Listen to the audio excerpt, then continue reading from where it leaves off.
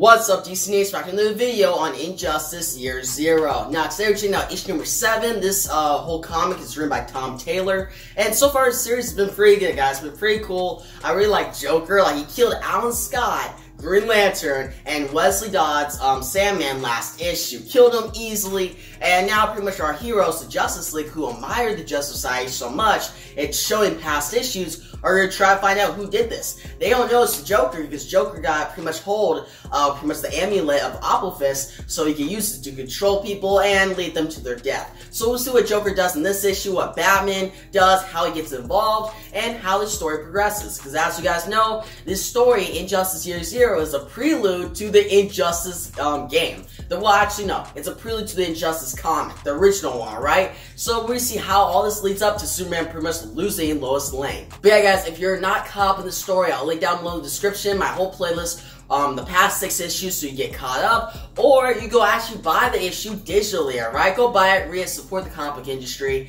and if you guys are ready, let's dive into Injustice Year Zero, number seven. This story opens up at the Justice Society headquarters. You see Jay Garrick, he says, Hal. So Hal Jordan and Jay Garrick are me up, and Hal Jordan says, Jay, I came as soon as I heard, how's Alan? And Jay Garrick says, Dr. Mid-Nite has done all he can, but we won't know what happens next. And Jay says, you're a Batman thinks happened? So Batman's been investigating, right? So he has a conclusion.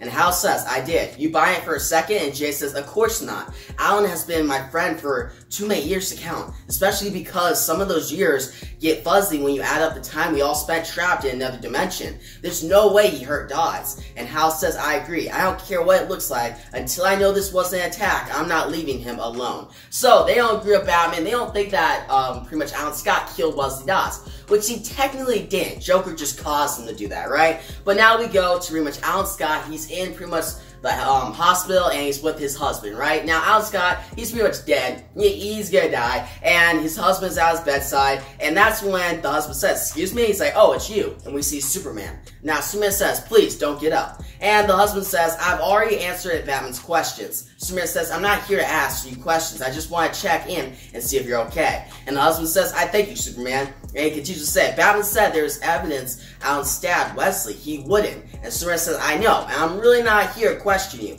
And the husband says, I had black coffee this morning. Superman says, sorry. And um, the husband says, Alan was supposed to get milk. milk. He was heading out to save the world, and he was supposed to get milk on the way back. I should have raised the alarm when he did come home. But when you're with someone who can do what he can do, you know that means sharing him with the world. It means he might not always come home when he wants to. And then he says, do you have someone you bring uh, milk home for? And Samantha says, I do.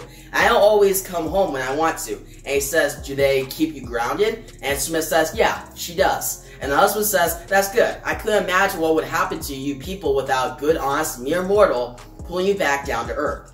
And he says, I'm Jim. And Smith says, I know Alan has told me a lot about you. And the husband says, actually, Jim says, that sounds ominous. And Smith says, all good things. And Jim says, I thought you didn't lie. And Smith says, mostly good things. And Jim says, I get. People need to vent, even uh, flying people. I want to thank you. And Smith says, for what? And Jim says, the moment you showed up, you lessened the burden on him. He didn't feel he had to do it all anymore. You gave us more time, Superman. And Superman says, it's Clark. Clark Kent. Superman puts his hand out to Jim, and then they shake hands. And Jim says, you didn't have to tell me. And Superman says, I think Alan would like us to know each other. And Superman says, he will wake up, Jim you'll have more time together. And they hug. So yes, it shows that Superman, he's very good at pretty much inspiring hope in people, right? So even when somebody's at pretty much uh, their loved one's bedside, Superman's there to pretty much help them out, right? Now, I also like is that shows that pretty much uh, Lois Lane helps Superman keep him down to earth, right? So he doesn't pretty much come evil, right? Come a tyrant. It helps him keep him human, which that's one of the big parts of his character and what makes Lois Lane so important.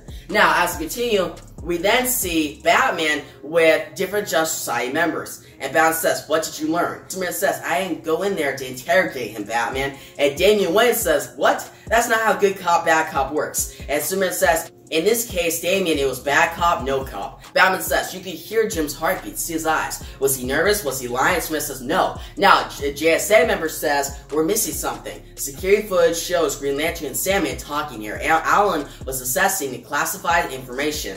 Batman says, then they left together, after which all evidence points to Green Lantern stabbing Sandman in the chest. Now, this JSA member then concludes to, from the cleanness of the wound, I'd say Alan constructed a blade from ring energy. Superman says, what information did Alan access? And Batman says, names and addresses. And Superman says, of whom? And Batman responds, of the entire Justice Society. Now, guys, I really like this, because last issue we saw Joker, he's not just going after one Justice Society members, he's going after all of them. He's trying to kill every single one of them, which that fits with the Joker character. It makes me excited to see what Joker's gonna do, but kind of worried, because we're about to see some of the best JSA members get killed, alright? But Next we see is one of the JSA members is inside his house, right? And he has a package, right? This person shows up and they say, package for Will Everett. And this guy says, yes, that's me. Now the mailman says, if you could just sign here. And Will Everett says, sure. But that's when this mailman says, thanks, Amazing Man. And you see he's controlled by Joker. And Amazing Man says, what'd you call me? And that's when we see this mailman take out a gun, about to shoot him. He shoots, but Amazing Man turns to steel. He protects himself. But we see his mailman and says, huh? I thought you could only turn to something you touched. And he says, ah. And we see that Amazing Man touched the doorknob to turn himself into this metal, right? And the bullet just comes off of Amazing Man's chest. He grabs his mailman and says, Who are you? Who sent you?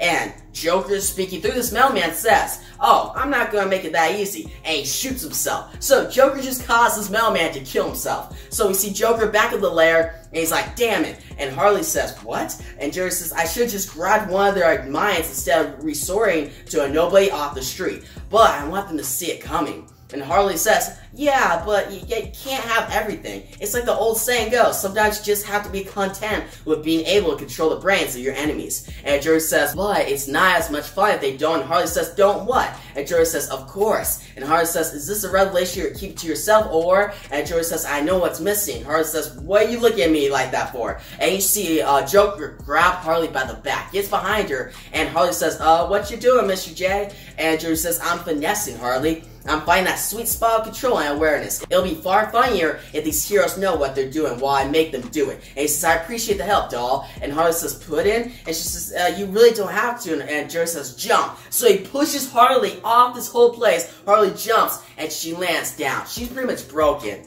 And he says, Harley, Harley, don't overreact and Harley finds this note. It says, in case of moment of uh, clarity, break glass. So Harley notices that, well, she's noticed this before, but this is like the big breaking point that she's gonna leave the Joker. And then she picks up her bat. And Joker says, it's not like anything important's broken. And he says, you know I can't just make you open the door. What was that? Harley! He screams, Harley. Harley walks away on her own. And says, next, exit strategy.